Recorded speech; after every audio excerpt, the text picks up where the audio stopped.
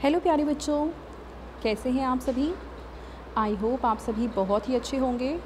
बच्चों, इस वीडियो में हम डिस्कस करेंगे S C E R T के द्वारा शुरू किए गए पठन अभियान के तहत क्लास थर्ड की मैथ्स की वर्कशीट नंबर 54 जो कि 25 मार्च 2022 की वर्कशीट है, और इसका थीम है बच्चों टाइम आप यहाँ अपना नाम लिखेंगे और यहाँ आप अपनी टीचर का नाम लिखेंगे।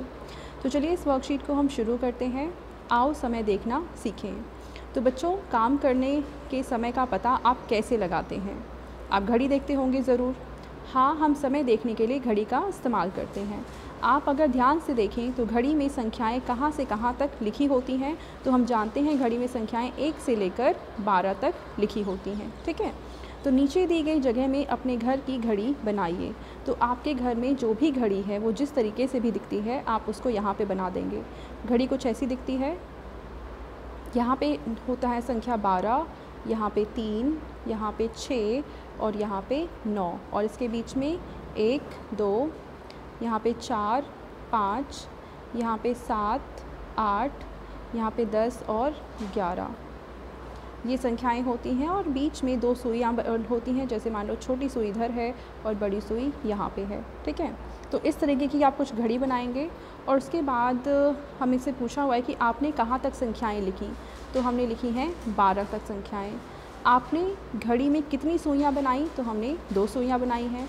क्या सारी सुइयों की लंबाई बराबर है? तो बच्चों, नहीं। एक सुई छोटी होती है और दूसरी सुई बड़ी होती है, ठीक है? अब इसके बाद देखते हैं, आगे हमसे कह रखा है कि क्या आप जानते हैं कि आमतौर पर घड़ी में दो मुख्य सुइयाँ होती हैं, बड़ी सुई मिनट को दिखाती है और छोटी सुई घंटे को दिखाती है। उदाहरण के लिए साथ वाली घड़ी को, इस घड़ी को आपको ध्यान से देखना है, ठीक है? यहाँ बड़ी सुई बारह पर है, यानी ये वाली जो सुई है, ये बड़ी है, और छोटी सुई तीन पर है, यानी ये वाली जो सुई है वो छोटी है। इसका अर्थ ये हुआ कि घड़ी में तीन बजे हैं, क्योंकि तीन घंटे और 12 का मतलब होता है ज़ीरो मिनट ठीक है? हर एक घंटे बाद छोटी सुई अपनी स्थिति बदलकर अगली संख्या पर आ जाती है। यानी एक घंटे बाद अगर हम देखते हैं तो ये तीन से चार पे आ जाएगी, फिर एक घंटे बाद चार से पाँच पे आ जाएगी, फिर एक और घंटे बाद पाँच से छः पर आ जाएगी, ठीक है? तो इस तरीके से हर एक घंटे में जो सुई छोटी वाली सुई है, वो अपनी एक एक संख्या बदलती रहती है। रमा जी एक मेहनती महिला हैं जो घर और बाहर के कामों को बखूबी करती हैं।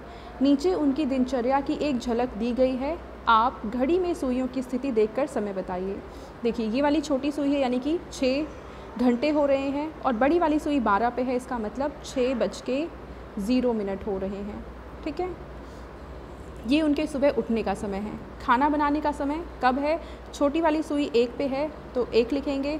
और बड़ी वाली सुई जब बारह पे होती है तो उसके पीछे हम अपने आप ही ज़ीरो ज़ीरो लगा देते हैं। यानी सिर्फ़ एक बज रहे हैं। ख़रीदारी करने का समय, देखो, छोटी वाली सुई कहाँ पे है बच्चों? पाँच पे है। तो हम पाँच लिख के दो ज़ीरो लगाएँगे, क्योंकि बड़ी वाली सुई बारह पे है। सोने का समय देखो, छोटी वाली सुई है दस पे तो हम दस लिखेंगे, और बड़ी वाली सुई जब बारह पे होती है तो पीछे क्या लगाते हैं? ज़ीरो ज़ीरो, ठीक है? तो सुबह उठने का समय उनका छः बजे है, खाना बनाने का समय एक बजे है, ख़रीदारी करने का समय पाँच बजे है, और सोने का समय दस बजे है, ठीक है? अब आपके पेरेंट्स के लिए सुझाव है कि घड़ी में समय देखकर बताने के लिए बच्चों को प्रेरित कीजिए। तो बच्चों, ये थी आज की हमारी मैथ्स की वर्कशीट एंड आई होप आप सभी को ये वर्कशीट बहुत ही अच्छे से समझ में आई होगी। और बच्चों, अगर आपको वीडियो पसंद आई है तो उसको ज़रूर लाइक करें, अपने फ्रेंड्स के साथ भी शेयर करें और इस चैनल को सब्सक्राइब करना बिल्कुल ना भूलें। Thank you